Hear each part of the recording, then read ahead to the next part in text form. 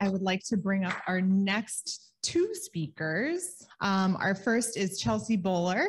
She's a PhD candidate and senior specialist on the restoration and regeneration team with WWF Canada, based in Newfoundland and Labrador in Canada. Her academic and professional background has spanned many areas of focus, including fisheries, restorations, and resource management, specifically those associated with local Indigenous and non-Indigenous communities. We also have Steph Nicholl, a uh, who is a graduate of the Beaver Institute's Beaver Corps program. Steph is an associate spe specialist in conservation operations with WWF Canada in Newfoundland and Labrador, Canada. She works on implementing fish friendly flow devices as beaver dam resol resolutions for salmon and other migratory fish species. Thank you so much. Um, hello, everybody. Um, as was mentioned, Steph and I are from Newfoundland and Labrador, and a lot of the work we do engages so many diverse Indigenous communities and governments. And so I just wanted to take a really quick second to do a land acknowledgement. So we respectfully acknowledge the land on which we work and live as the ancestral homelands of the Beothuk, whose culture has now been erased forever. We also acknowledge the island of Newfoundland as the unceded traditional territory of the Beothuk and the Mi'kmaq, and Labrador as the traditional and ancestral home, homelands of the Innu of Nitassinan and Inuit of Nunatsiavut and NunatuKavut. We recognize all First Peoples who were here before us, those who live with us now, and the seven generations to come. We strive to be responsible stewards of the land and to respect the cultures, ceremonies, and traditions of all who call it home. As we open our hearts and minds to the past, we commit ourselves to working in a spirit of truth and reconciliation to make a better future for all. And so the work, thank you. And so the work that, that uh, Steph and I do uh, with this project and also with other projects, we do work really closely with both, with NunatuKavut, my PhD work is really closely related to Nunatsiavut, and we also work with uh, many different Mi'kmaq bands around the island of Newfoundland. Uh, so just a quick overview of what we're going to talk about today. So we are talking about fish-friendly flow devices that were adapted um, for the purposes of our work that we'll get into more detail about. And this is really uh, was practice and practice and practice and make lots of mistakes until we figure out what works. And we still haven't totally figured out what works. Um, so this has been a really long learning process for us. Um, these devices were the first flow devices of any kind that were really used in the province. Um, and so we had loads of partners that were helping us um, install the devices, give feedback on the devices. We looked, worked very closely with the Beaver Institute. Uh, and as mentioned, Steph had that training. So she was also able to help us a lot in the field with making some judgment calls depending on the environment that we were working in. So a little bit about WWF Canada. I'm not going to read out this slide. This is basically our mission statement, but um, things have shifted for WWF Canada in the last couple years as we've had a new strategic plan. So we used to work, um, we used to work a lot on like fisheries projects, um, used to do work on climate change as well, but now really climate change, carbon sequestration, big restoration activities, these are now the focus for our organization. Um, and really our long-term vision is, is to have a world where nature and people strive together. And so we do work with industry, we do work with communities. Um, a lot of people have the, the misunderstanding that we're an animal rights organization, which we're not. We work very closely with um, indigenous communities and other other folks who, um, you know, hunt and have subsistence livelihoods as well. Okay, so I think that um, the work that we've done stands out a little bit differently than some of the other presentations we've seen today um, because our project really started first around salmon and fish and less so about beavers and beavers just kind of came about. Steph was at this conference a couple years ago and I think fell in, in love with beavers and I've since become a beaver believer since being on this project for the last year or so.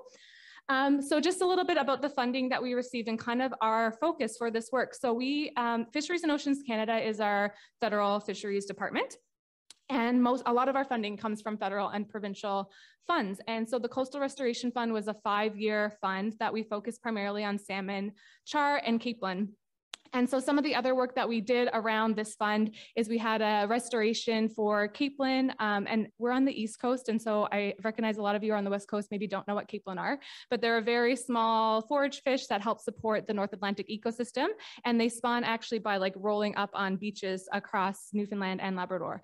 Um, and so we had some um, restoration at a beach site and some monitoring there. Um, we also supported restoration priorities in NunatuKavut, which is in Southern Labrador.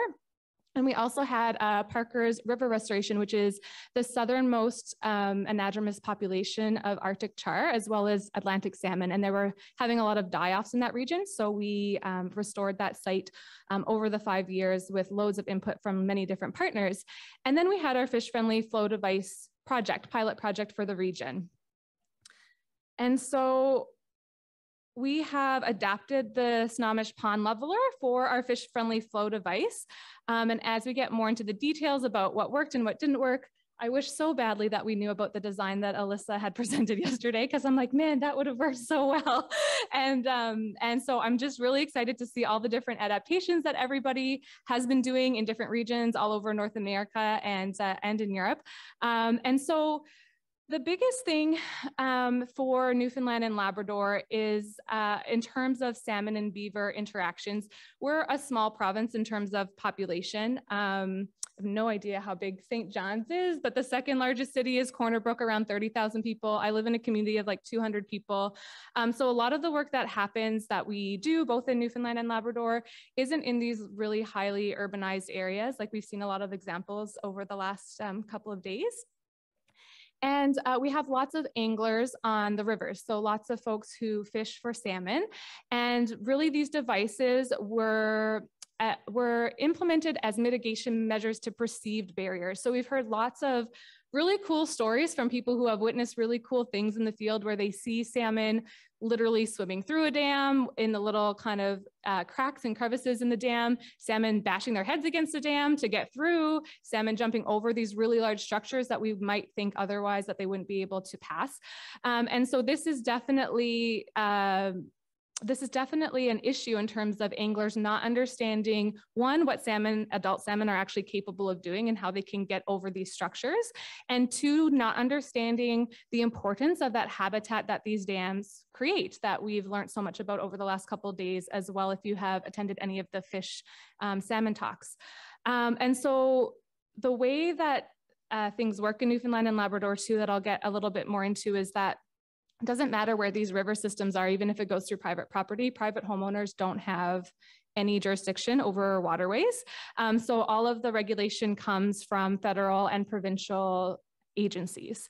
And so, um, so DFO is the F Department of Fisheries and Oceans, and they, and then we have the Wildlife Department with the province, um, and we have a fur, fur bearer biologist that works um, on beaver stuff. So they, they actually give out permits to tear out beaver dams, which I think is so strange, so strange, especially from a fisheries perspective, if you're thinking about the Department of Fisheries and Oceans. So it's actually totally legal and um, I don't want to say encouraged, but definitely supported that as long as you call and let DFO know what you're doing and you get a permit, you're allowed to rip out beaver dams. Um, and it doesn't really matter the reason if you're, if it's flooding or you're concerned about salmon, it's just like, if you want to rip that out, you can. Um, I've also learned a lot more about the hunting and hunting and trapping that happens around Newfoundland and Labrador, um, specifically with beaver, because I wasn't familiar with it. So um, the other thing that might be different than some other regions is um, there's designated trap lines that are set up in the in the region, um, and one person has control over that trap line. But there's actually a minimum requirement for a number of beavers trapped. You have to at least trap five beavers a, season, yes. And if you don't, um, you have the risk of losing that trap line and it being uh, given to someone else or sold to somebody else through the provincial wildlife system. Um, and they do encourage folks to remove beavers from, they, they encourage trappers to remove beavers from um, areas where they're getting complaints about flooding or other things that folks might be concerned about. Um, so there's really just this big kind of like the, the way the regulations are stated and even just general, um, like the hunter and trapper guide, general information in there typically has been focused on removing beavers and removing them from problem areas um, without much of a consideration for um, the impacts that that has on ecosystems or specific species, especially Atlantic salmon that are endangered in the region. Um, so that all that being said, one of the highlights of the work, um, Victoria Neville used to be in the role that I'm currently in, and she was here a couple years ago. You may have heard her speak, but one of the big wins for her was a couple years ago having um, kind of like a blurb of information on the importance of beaver habitat and how it supports salmon populations actually in the angler guide. So even though we still have this information on trapping and trying to remove beavers, there's also starting to be the shift in culture around how we understand beaver habitat and how it affects other species in the province that folks may be concerned about. Okay, so the locations. So this is Newfoundland and Labrador. So it is one province, but disconnected by a channel of water in the North Atlantic. Um, so we, uh, Steph and I both live in Newfoundland, which is the island portion of the province. I think there's a pointer on here. Oh yeah, okay, perfect. Okay, can you still hear me? Perfect. Okay, so I live in this area over here. Steph lives all the way over here, about seven hours away. So a lot of our, um, these two guys here were pretty close to um, to St. John's area, which is near where Steph lives. Uh, and so they were easily monitored. And then we have Windmill Bight up here that's in a small community. And then we have Shinny's Brook up in Newfoundland, or up in Labrador rather, on the mainland portion of the province. Um, and just some things that I wanted to mention. So I don't know if you guys are familiar with Newfoundland, but we're called the Rock. we're literally a rock in the middle of the North Atlantic. Um, and so something that um, differs from a lot of the examples that I've seen over the last couple days is the ability to actually secure these devices. Um, so it's bedrock in a lot of the river systems that we work in. Uh, it's not mud, it's not sand. It's really hard to drive rebar or stakes or anything else down into the river system to be able to secure it. Um, we also, as I mentioned, lived in a small province in terms of population.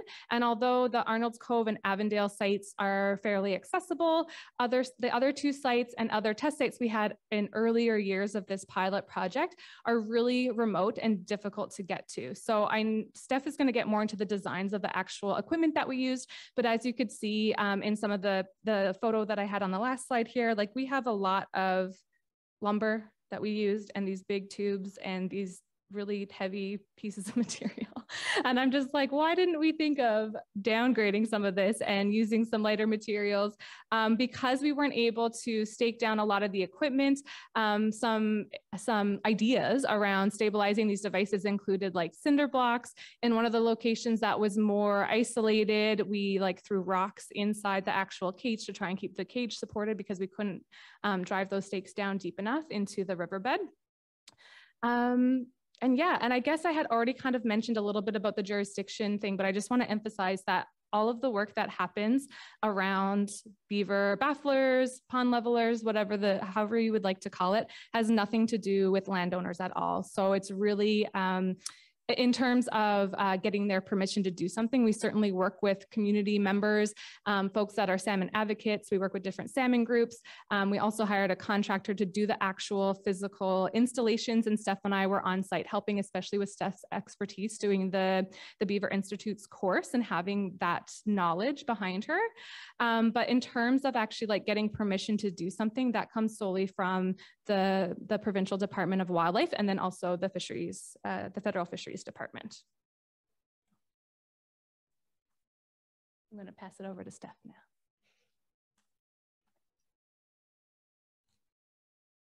Hello, everyone. I'm so happy to be here. I hope you can hear me okay. Good? Okay, perfect.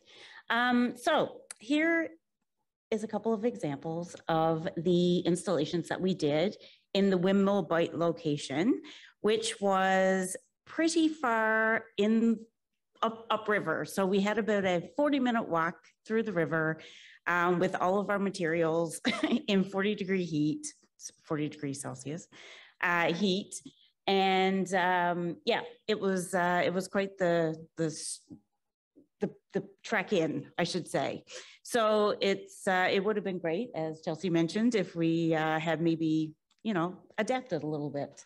Um, so with this uh, version here, we actually put a cap on. Uh, we modified this, and we put a cap on the end of the pipe, so it has the same size hole as the other version that you had seen previously, which had the box at the end. So we removed the box and we just put a cap with the the hole where the salmon could go through. Um, in this area right here.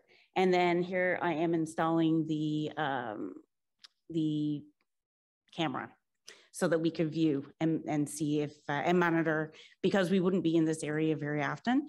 Uh, so we needed to record um, if the salmon was going through uh, the, the device.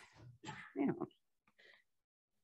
So this is the Arnold's Cove uh, installation. This was actually a fantastic installation. Nothing moved, nothing shifted. Every time we went back, it was great. It was still in place. Um, and this is, so this was um, in the fall and this is more in the summertime and you can see the, the difference in the, uh, in the height of the water. Um, and we also installed signage on all of our installation sites um, as an education piece. So people could actually uh, contact us. We had our contact information there. It explained a bit about what we were doing, why the devices were installed, um, just to give people uh, more of a concept idea of, um, of what these devices were for and not to remove them. And we worked with uh, a lot of communities on these things as well. So we would contact the communities, let them know that, uh, like the um, municipalities, to let them know that we were doing these installs and to get their opinions and um, just to give them a bit of background information on what it's for.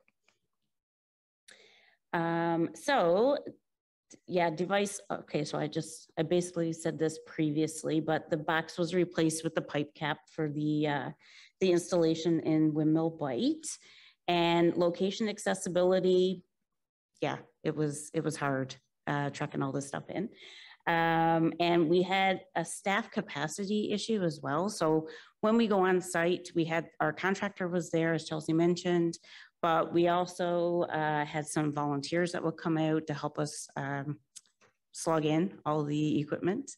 Um, if, if these areas were off, like off, um, off the highway, sorry, a couple of the places the installs were right off the road. So it was easier just to pull up and offload the, uh, the equipment, not a problem, but this, this one was further in. And here's some uh, fantastic shots of fish actually using the devices. So this one right here is Shinny's Brook. This is the Labrador site. Um, and then we, the, these are adult salmon. And then we had the juvenile salmon who went through the Arnold's Cove one. And that was the one that I had mentioned hadn't shifted or moved or anything, stayed in place. So here's a bit of a disaster. So this is the Avondale location. And as Chelsea mentioned, we had a bit of an issue stabilizing the, um, the flow devices so they didn't shift or move. Uh, even using cinder blocks and uh, trying to um, trying to stabilize them as best as possible. Uh, ice is a big factor. In Newfoundland, we could have four seasons in one day. It's uh, pretty blustery, it's really windy. We could have 120 kilometer winds, and that's just like a regular day. Um, so when the ice builds up over the winter, it creates havoc. So it actually destroyed the cage uh, and shifted it. So this sea monster over here is the cage has actually moved from all the way over here and is now on top of the beaver dam. So, and the box, which was in this location, disappeared. we don't even know what happened to it. It just left. Um, and the beaver obviously was able to get in because the ice destroyed the cage and they blacked it up. And so lessons learned here, we need to find a new way of stabilizing the equipment.